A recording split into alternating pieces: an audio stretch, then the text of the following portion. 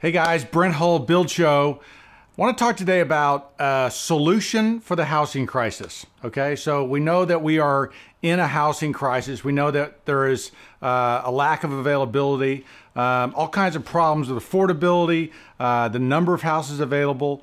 Uh, so what do we do? Well, as I, as you know, I encourage us as builders, as craftsmen, to be uh, learners as well. And so uh, I want to look back at history, and I want to look back at how we used to do things and, and a solution that presents itself, right, from the past. Now, the year's 1940, but we're actually going to go back in time a little bit to 1926. At that time, the house building was kind of at this maturity level, a million houses a year, the single family houses million houses a year is kind of a, uh, a benchmark for the number of houses you need in order to maintain with population growth and everything else a healthy standard and a healthy number of houses okay? Um, since the great recession we really haven't hit that number uh, since 2007 2008 we're getting closer but we still haven't hit it okay? So that was the number back then 1926 uh, now that's three years before the great depression starts to fall off at that time. From 1926 is at a million houses? By 1929 it's it's a little bit lower. Of course the crash happens in 29 and for the next three or four years you really you fall into a time of, of very low house production. 10% of that million dollar number so about 100000 houses a year which is not enough okay? The, the depression lasts longer than everybody expects. Uh, fdr gets elected uh, as part of his program to uh, fix the housing crisis starts the FHA FHA, uh, Federal Housing Administration. Um, they they're the ones actually change the way mortgages work and how you can how you can uh, loan get a loan on a house. So a lot of things we're working governmentally to try to improve the situation. Fast forward again, uh, again the depression is is lasted. So then we go into World War II, right? So then we get involved in this war. The war lasts until 45. Uh, GIs come back in 46, and we have the GI Bill, right? So essentially, what happens when the GIs come back is you have 16 million GIs coming back to the US, and there was a huge housing crisis, much similar to what there is today. There wasn't enough houses. People were living in silos and railroad cars, they were doubling up. Remember, during the recession, people were doubling up. Uh, that kind of thing was happening, okay? Come on to the scene a guy named William Levitt, okay? William Levitt basically was a home builder in the 1930s, uh, and had a kind of seminal experience when he uh, built some uh, housing for a Virginia shipyard, okay, right, right before the war, uh, where he learned how to build cheap and fast, okay, and it was an experiment for him that didn't really work very well. But after the war gets out, he goes out to Long Island and he starts a development. Now, is a potato field uh, that he bought think it was five or six thousand acres, and he began to build rent houses. Now, the rent houses they were building were were very different from the houses that we're we're familiar with. The typical house in 19 uh, in that period was uh, 12 to 1400 square feet. He started building six and 800 square foot houses. They didn't have a garage. They didn't have a basement. They were completely different from the market. In fact, people said they won't sell. Okay. What happened was they sold like hotcakes. And the reason why was what Levitt really changed the way housing happened. Okay. And I have a love hate relationship with Levitt because, on one hand, he totally solved the housing crisis at the time.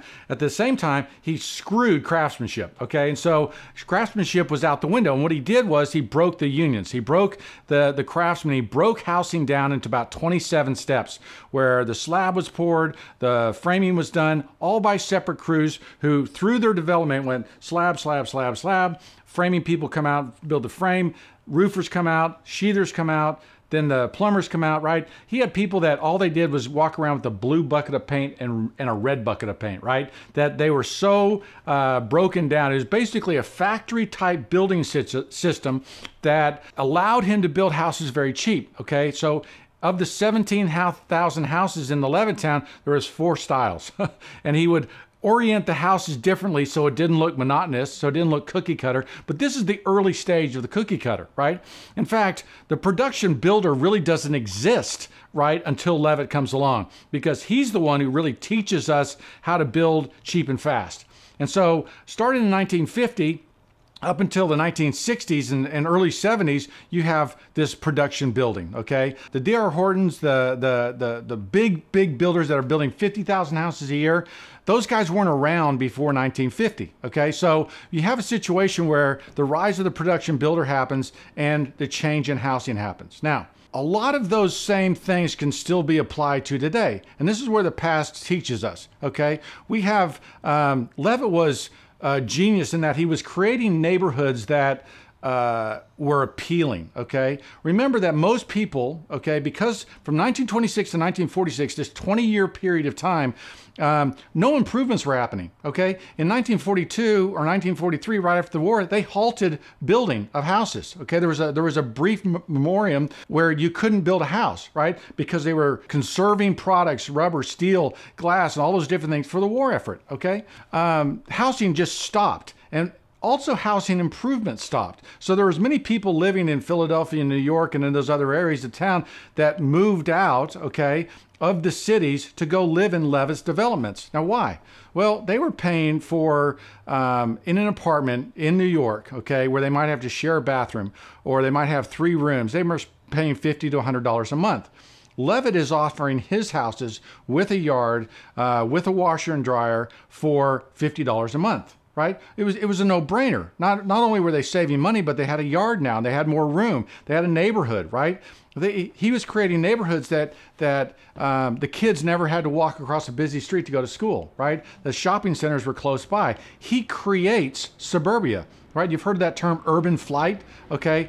the flight leaving the city. This is all starts during this period of time.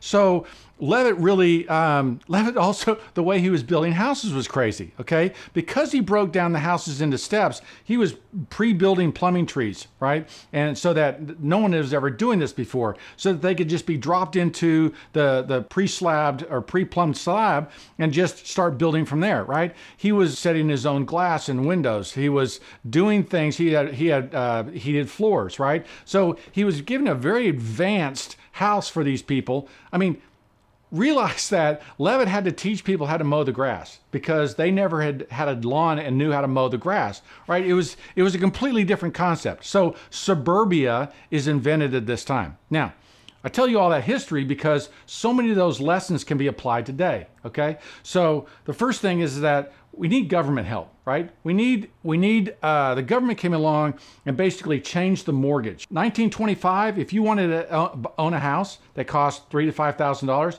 you had to pay it off in three to five years. Imagine doing that with your house today, right? So the whole idea of a 30-year mortgage happens with the FHA, and FDR happens in 1930, 1935, right?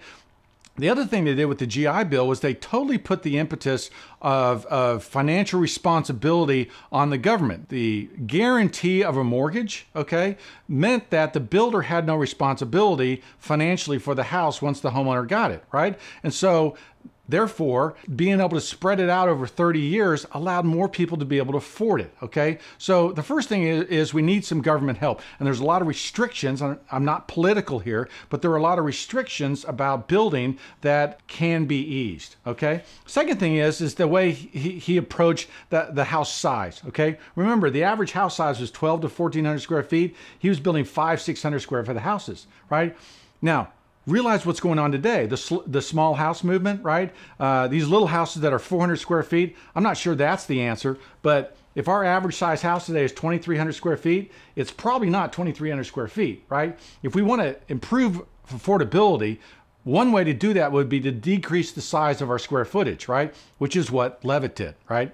And then finally, th- there has to be a balance of, of craftsmanship and design, right? Um, I think too many uh, quickly built houses today are ugly. Okay, uh, there has to be one of the things about Levitt was that he actually his houses were cute. Okay, people that lived in Levittown and still talk about Levittown love it. Google it. Talk to the people who grew up there. They created communities that people loved. So I think today, okay, we almost need a Elon Musk kind of guy who can uh, change the way we think about building, right? Just like he's doing with cars, we need. Uh, William Levitt was an incredibly charismatic individual, right? He uh, he started this whole, you know, production building movement. Before people didn't understand how to do that. He was building houses for, you know, he would brag that he knew how many uh, nails went into a house. He was completely vertically integrated, right? He owned the forest, he owned the lumber yards, he owned the nail yards. He knew what it took to get into his house. In fact, he wouldn't call himself a builder, he called himself a manufacturer, right? And so, completely different mindset of a way to approach the housing problem. So, those solutions are here today. We're we're skirting around the outside of them with the small house movement, with affordability, with style, right? We're looking for someone who can come along and kind of huge capital investment, right? Huge uh, dollars, but to show us how to do it, right? To show us and lead us the way. But the past points in a direction, gives us markers, gives us ideas of how this should go together, and that is the historical solution for the housing crisis today. I'm Brent Hull. Follow me on Instagram and Facebook, uh, Hull Millwork Hull Homes. Thanks for watching.